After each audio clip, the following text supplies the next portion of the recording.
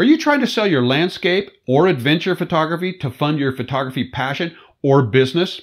Well, I'm sharing five tips that I've successfully used to license my photography for decades, and I'm going to share them with you right now.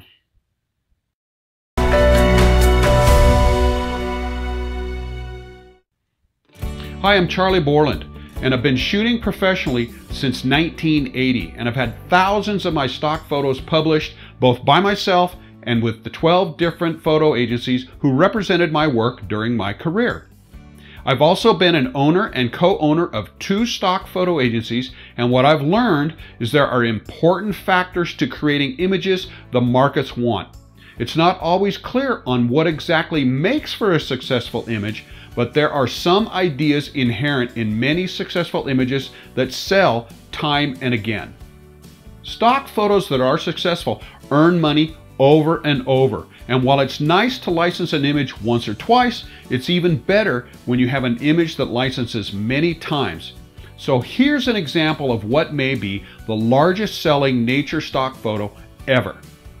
The photographer is a friend of mine, and we went to Brooks Institute together, and he created this image. The last time I talked to him, about a year ago, he had earned over $1 million in sales and is still selling today. So why is it so popular? It's not hard to tell once you look at the image. It's strong on concept and it's beautiful, it tells a story, and it's technically perfect. While there are many nature and adventure photos that appear to sell simply because they are beautiful images, there's usually an underlying reason that an image is succeeding beyond simple beauty. That beauty in itself often tells a story about a photograph and its location by invoking an emotion. As an example, why do people buy calendars or gift cards or note cards? Well, it's because the photograph evokes an emotion that prompted the buyer to purchase because the buyer gets joy from observing the pictures in the calendar, or in the case of note cards, they simply want to share the picture with those they plan to send the cards to. People often buy lots of products based more on the pictures than the text, and that tells us that the photograph was successful in prompting that impulse to buy. So what I've done is create a list of five characteristics I believe are important for successful selling images. This is a no-brainer. Sharpness, correct exposure, great lighting, no artifacts, low noise. These are often required for an image to be reproducible and successful. As an example, a cover of a publication or magazine would require technical perfection. In today's digital world, believability has become a characteristic that can make or break an image with its appeal within the market. With the ability of Photoshop to create just about anything we can conceive, photographers should take note about what they do in the digital darkroom. Now, I'm not talking about strong conceptual images, but rather nature and landscape images such as sunset skies that are vastly darker than the foreground, or unrealistic saturation in HDR, or simple overprocessing. Instead, the need to research the markets and see what's being published or used should be the definitive guide to how much image processing will help make a marketable image. For those photographing adventures that include people, a jacket from years ago with colors no longer available can result in images that don't stand a chance in the market. This emphasizes the need to research what's published today to guide your approach, and how you do that is simple. Go online and check out the major producers of outdoor products like Patagonia, REI, and see what the color palette is for this year's apparel. Successful images often tell a story and have a strong theme about them.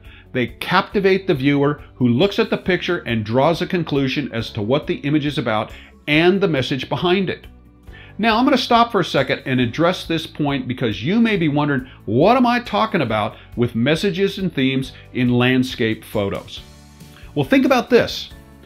When you see a calendar and you're looking at the photos, are you thinking about themes? Probably not. But many calendars have a theme and the buyer licensed the photo to fit that theme, like this Ohio calendar featuring a skyline I shot in Cincinnati many years ago.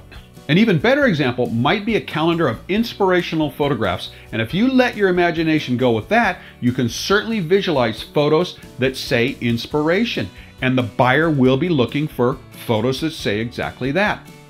Now, for the client who's out there looking for an image, they are seeking photos that tell the story to the audience they're trying to reach. Often, commercial stock photo buyers have a theme already in mind, and then they go and search for an image that states that theme.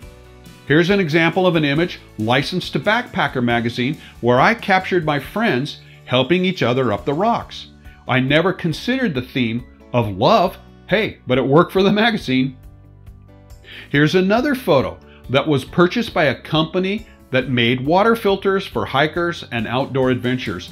And they simply wanted a photo that suggested fresh, clean water in a lush scene. And they used this for the packaging of the filter. There was also room for the product name at the top and room for the text down the left side. And that aided in its saleability. Now this trail image, it's not really that great of a photo when you think of calendar quality images, but it told the story the client wanted to say. Again, shooting for themes. The goal for every stock photo you capture is that it has broad appeal and sells many times to a diverse client base with different needs and goals. With a strong story or theme that can carry across diverse concepts, a variety of clients might use that same image for completely different messages. The idea is to capture images where a wide spectrum of clients find that the image states the message they're trying to convey. This camping image has been licensed many times to a wide range of clients, including clothing catalog, beer advertisement, various magazines, and many more. And it's because it has universal appeal.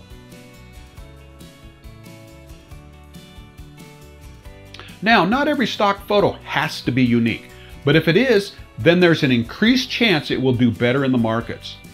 This would include images that are once in a lifetime captures, like events in nature, say a hurricane, or lightning in an unusual place, or an adventure image that makes the viewer stop and look hard. This lightning photo has been licensed numerous times, and in most cases it was because it was unique.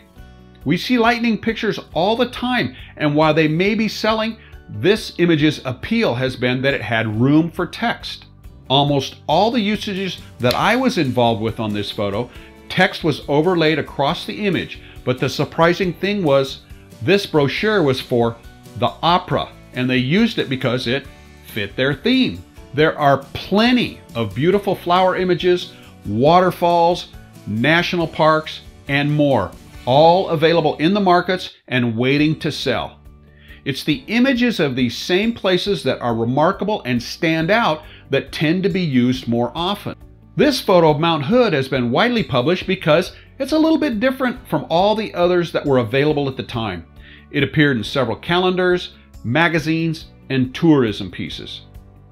While most nature photographers wander in search of great scenes to capture, leaving home with a list of ideas can often help you create images that produce better results in the markets.